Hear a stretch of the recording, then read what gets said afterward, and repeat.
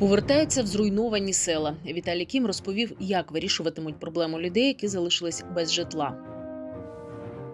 Херсонцям від миколаївців волонтери привезли допомогу, яку також збирали школярі Миколаївського району. До річниці повномасштабного вторгнення в Миколаєві відкрилася виставка майстрів народної творчості. На Миколаївщині залишаються замінованими понад 270 гектарів території. Попри це, до населених пунктів масово повертаються жителі. Про це в ефірі телемарафону розповів начальник Миколаївської обласної військової адміністрації Віталій Кім. Люди живуть навіть в тих селах, які зруйновані на 90%. Обласна влада разом з іноземними партнерами обговорює можливість встановлення модульних містечок, говорить Кім.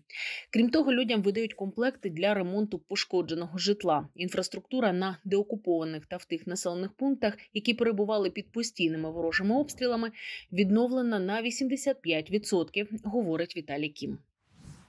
Військові в небі над Миколаївщиною збили ворожий дрон, з якого могли дістати інформацію про ціль. Про це в ефірі марафону розповів Віталій Кім. Апарат прямував до терміналу на території Миколаєва, де зберігається олія. Керівник області робить припущення, що на думку ворога там може зберігатися паливо, або ж це чергова спроба атакувати інфраструктуру та великі підприємства регіону. Нагадаємо, 16 жовтня росіяни спрямували дрони на олійний термінал на території морського порту.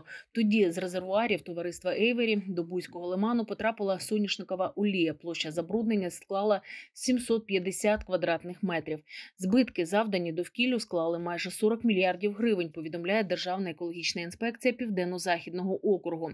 Водночас олія забруднила й землю на площі 550 квадратних метрів. Збитки склали 1,6 мільйони гривень. Протягом минулої доби повідомляє обласна військова адміністрація. Російські військові обстрілювали Очаківську громаду. Так, під мінометні снаряди потрапив острів Майський, який знаходиться неподалік Очакова. Поранених та руйнувань внаслідок цієї атаки немає. На інших територіях області обстрілів не зафіксовано. Втрати російських військ станом на 17 лютого. Особовий склад близько 141 260 осіб. Танки 3298 одиниць. Бойові броньовані машини 6520 одиниць. 2322 артилерійські системи, 467 реактивних систем залпового вогню, 241 засіб протиповітряної оборони. 298 літаків, 2013 безпілотних літальних апаратів, 287 гелікоптерів, автомобільна техніка та автоцистерни 5187 одиниць, спеціальна техніка 221 одиниця, 18 кораблів та катерів. Збито 871 крилата ракета. Слава ЗСУ! З березня у підвалі жила мешканка Очакова Тетяна. Через масовані обстріли міста російськими військами жінка боялась виходити на вулицю. Розповідає, лише зрідка бігала додому. Обстріли були е, завжди постійні. Ну, трошки було якесь е, трошки менше було. А спочатку було, було дуже страшно. Обстріли були у нас е, горо, місто, місто маленьке. І таке відчуття, що це б'ють от по твоїй хаті, у твоєму дворі, і постійно це от, ну, дуже чутно. По-перше, це страшно ходити, ходити містом. Це просто страшно. От виходити. І вдома страшно, і, і, і, і, і в місті страшно. А це коли ну да, і ми оце у підвалі перебували, да? знаходились тривалий час. З кінця марта я там знаходжусь постійно. Ну, ну як? Ну, домой забігаєш додому і, і, і зразу назад, бо не, там, там обстрілюють, там страшно вдома знаходитись. У мене прильоти були рядом е, у сусідів. Російські військові 9 січня влучили в склад протикорабельних мін часів Другої світової війни. Про це повідомив начальник Миколаївської обласної військової адміністрації Віталій Кім. Вибуховою хвилею пошкодило понад 200 житлових будинків, серед них будинок Тетяни. У нас е, масштабне е, руйнування. Це трапилось 9 січня. Січня, да? 9. О, е, У мене теж також хата пошкоджена. Ну, у мене повирувало е, двері, вікна вибило з рамом, е, ну, з рамою вибито було і двері, і, і вікна, і криша була повністю пошкоджена. Після потужного вибуху в Очакові до підвалу перебралась Наталія. Того дня її будинок зазнав руйнувань, говорить жінка. Коли просто зрозуміла, що вдома вже немає даху, і це просто життя під голим небом, яке неможливе. Треба було шукати десь якогось пристанища. Треба було якось рятуватися. Ну, і все. Прийшлося шукати якусь альтернативу.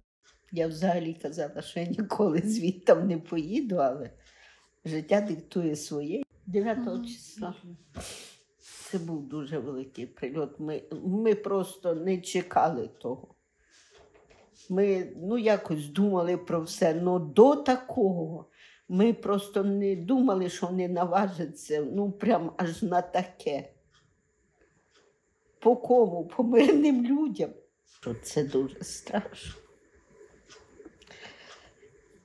Це жах, коли ти думаєш, що ти сьогодні можеш просто не існувати через когось, через без ніяких причин. Просто люди в відчаї, люди не розуміють, за що, чому. Сімох жінок Очакова волонтери Червоного Христа 9 лютого евакуювали до Миколаєва. Любов розповідає, у підвалі проживала більше ніж півроку. Там і познайомилась із іншими жительками міста. Сидели в подвале. Вот так вот сидим в подвале, выскочим и обратно в подвал, выскочим и обратно в подвал.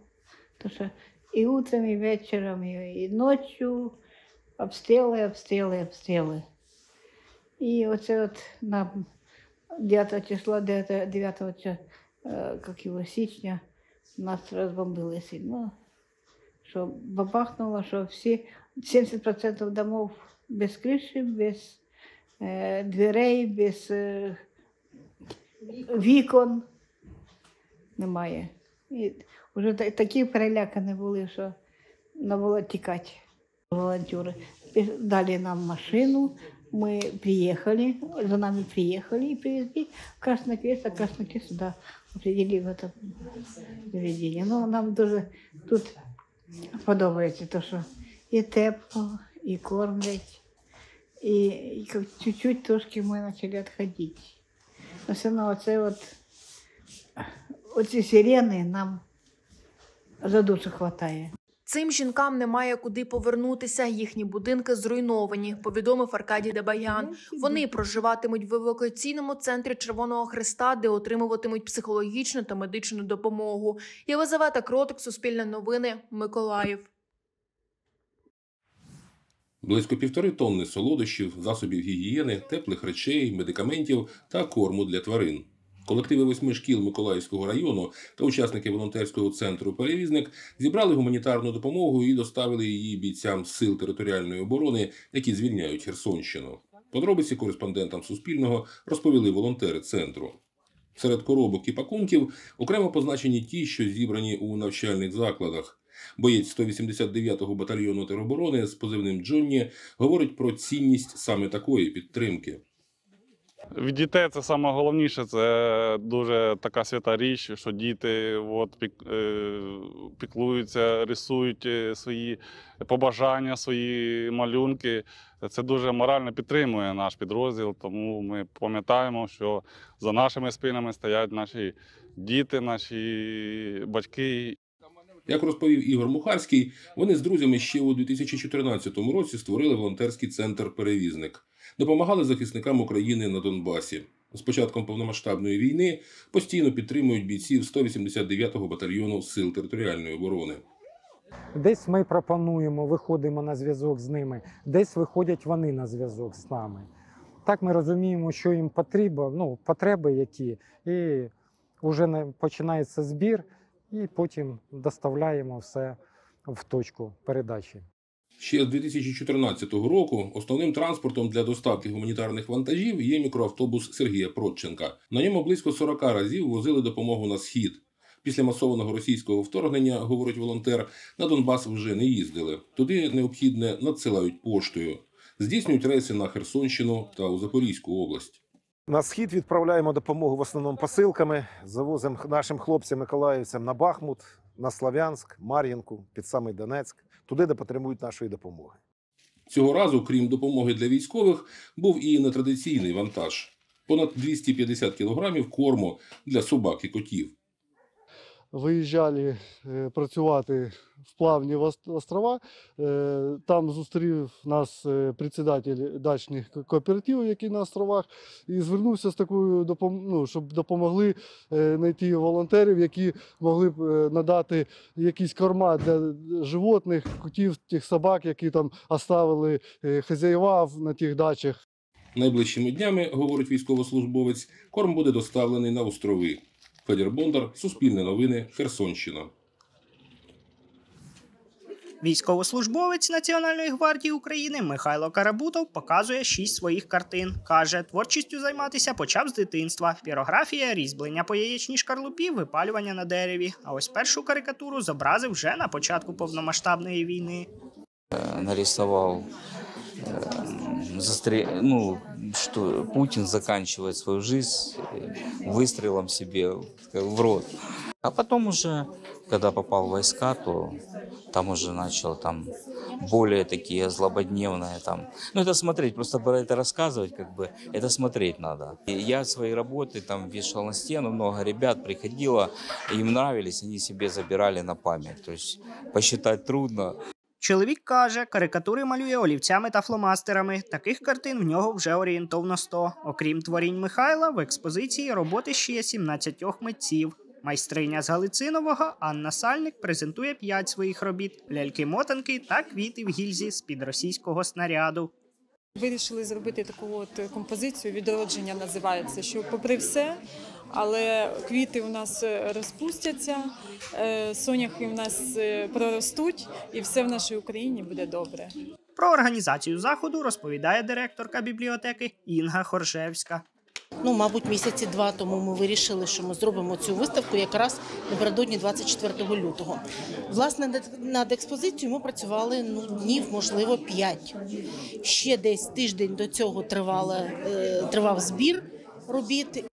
Виставка працюватиме місяць. Наприкінці заходу також його організатори передали військовим солодощі, шкарпетки та окопні свічки від працівників бібліотеки та небайдужих містян.